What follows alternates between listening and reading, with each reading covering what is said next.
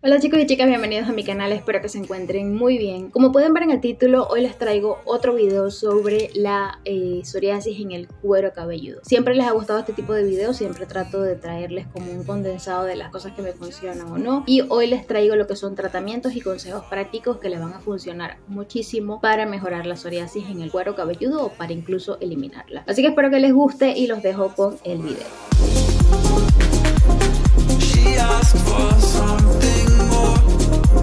Recuerden que hay muchísima diferencia con respecto a lo que es la caspa en el cuero cabelludo y también lo que es la psoriasis. Generalmente la caspa suele ser tal vez un poquito más grasosa, eh, también cuando la eliminas no te deja como esa zona roja y no escama total, sí, como no como unos eh, no sé la palabra en español, pero son muy diferentes. Les voy a dejar aquí tal vez algunas imágenes de cómo se ve la caspa y cómo se ve la psoriasis. Por lo menos yo toda mi vida he sufrido de caspa, todo, todos los tiempos desde que estaba chiquita y eh, no llegaba a ser psoriasis. La caspa eh, más que todo es por que va dando por un tiempo y luego se puede eliminar muy fácilmente con alguno que otro champú o tratamiento, pero la psoriasis no. La psoriasis se mejora, la puedes eliminar en algunas zonas pero te puede volver a salir. Y creo que la diferencia también es porque la caspa es un hongo en la piel, al cambio la psoriasis es algo en el sistema inmunológico, así que son cosas totalmente diferentes. Pero sí es importante que conozcan cuáles son las diferencias entre ambas para saber de cuál sufren y cuál es el tratamiento adecuado que deben utilizar. Así que lo primero que debo hablar es de los tratamientos tópicos. Estos son la opción más común para tratar la psoriasis en el cuero cabelludo y entre ellos tienen los champús, las lociones, las cremas y Mayormente entre sus ingredientes están lo que es el alquitrán de hulla, el ácido salicílico, los corticosteroides y todo lo que sean los derivados de la vitamina D. Y todos estos ingredientes pueden ayudar a reducir lo que es la inflamación y por supuesto muy importante lo que son las escamas, que es lo que más se nota de la psoriasis en el cuero cabelludo. Ustedes deben buscar el que mejor les funcione. Hay personas que el alquitrán de hulla les va muy bien, hay otros que con los que contienen ácido salicílico les va mucho mejor. Los que con, por ejemplo contienen corticosteroides o corticoides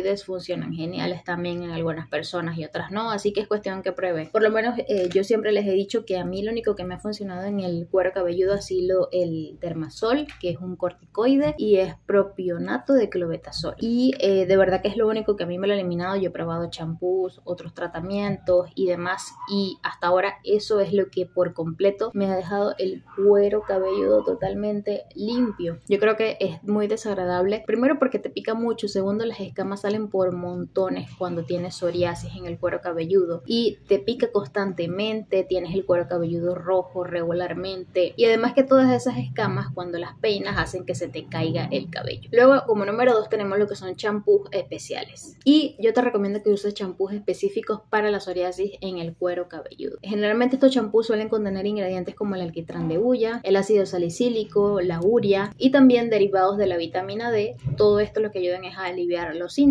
y a mejorar la salud del cuero cabelludo. Yo he utilizado muchísimos de estos champús, a mí me eh, gusta más utilizar uno que en específico para la caspa, que eh, utilizo por ejemplo este de, de Farmatodo, que es anticaspa, y también es súper importante que sean eh, champús ideal para tu tipo de cabello. Por lo menos ese me ayuda muchísimo con mi dermatitis seborreica y con la psoriasis, así que lo ideal es que consigas uno que te funcione muy bien para tu tipo de cabello y para tu condición con psoriasis. Como número 3 tenemos los que son los masajes delicados. Al lavar tu cabello, realiza masajes suaves en el cuero cabelludo para ayudar a aflojar las escamas y a mejorar la circulación sanguínea. Evita frotar bruscamente todo lo que es el cuero cabelludo cuando te estés lavando el cabello o aplicando algún tratamiento, porque esto lo único que va a hacer es empeorar la situación. Y con esto me refiero tal vez no tanto a los masajes muy fuertes, sino por ejemplo no utilizar las uñas, no arañarte lo que es el cuero cabelludo, utilizar la yema de los dedos es mucho mejor así. Sin embargo, yo eh, sí utilizo este tipo de cepillos o que son como de silicón y la verdad es que no, no hacen daño en el cabello. Y yo los utilizo es para exfoliar todo lo que es el cuero cabelludo. He notado que con eso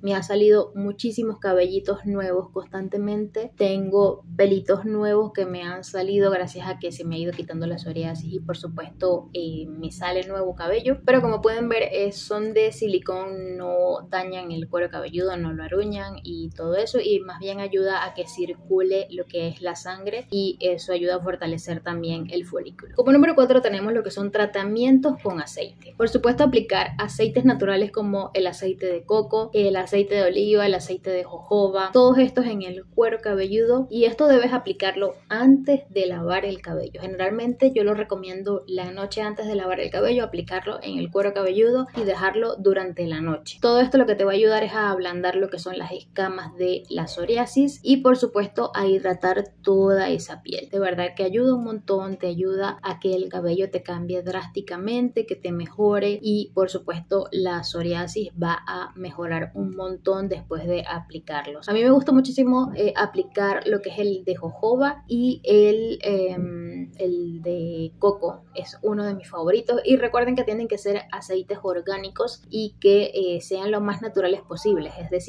que cuando tú los compres y ya los compras ya hechos, en la parte de atrás no diga que tiene aceite mineral porque entonces no es aceite del el que estás comprando. Como número 5 tenemos lo que es la exposición al sol. La exposición controlada al sol, como se los mencioné en mi video anterior, puede ser beneficiosa para la psoriasis en el cuero cabelludo. Debes de asegurarte de proteger tu piel y eh, de proteger los ojos del sol y por supuesto debes consultar antes con tu dermatólogo a ver si considera que esto es una buena opción porque hay personas que el sol les hace muchísimo más daño que beneficio, así que es cuestión de que vayas viendo cómo reacciona tu piel ante el sol. Como número 6 y muy importante debes evitar rascar. Eh, yo lo que he hecho para evitar esto es lavarme el cabello. Por supuesto, rascarse el cuero cabelludo lo que va a hacer es empeorar la psoriasis en un 100%. Y además de que va a causar lesiones en tu piel. Así que por supuesto debes evitar eh, rascarte para prevenir las complicaciones. Yo lo evito porque, por ejemplo, este producto que yo utilizo es básicamente como si utilizara alcohol en el cuero cabelludo. Y si me he rascado que sea un poquito y me cae eso, me arde horrible. La sensación dura que sea un segundo, pero igual evito hacerlo porque el rascar también lo que hace es que la psoriasis se multiplique y que no se cure como tal. Así que evita hacerlo por completo. Y por lo menos eh, a mí me pica el cuero cabelludo es cuando lo tengo sucio. Y a mí ustedes saben que el cabello me dura limpio nada. Yo me lo lavé ayer en la tarde y ya no sé, siento que me lo veo grasoso como que un milímetro de grasoso. Eh, en mi ciudad hace mucho calor, entonces probablemente me lo lavo hoy en la noche o mañana temprano, pero casi siempre me lo lavo un día sí, un día no. No dejo que se me coloque el cuero cabelludo muy grasoso, que se me ponga sucio, porque eso lo que hace es que me regrese la psoriasis y que me pique todo el cuero cabelludo en la noche. Como número 7, por supuesto, tenemos mantener una dieta saludable y obviamente alimentarse bien va a ayudar siempre a la psoriasis. Una dieta equilibrada y rica en antioxidantes puede ayudar a reducir lo que es la inflamación del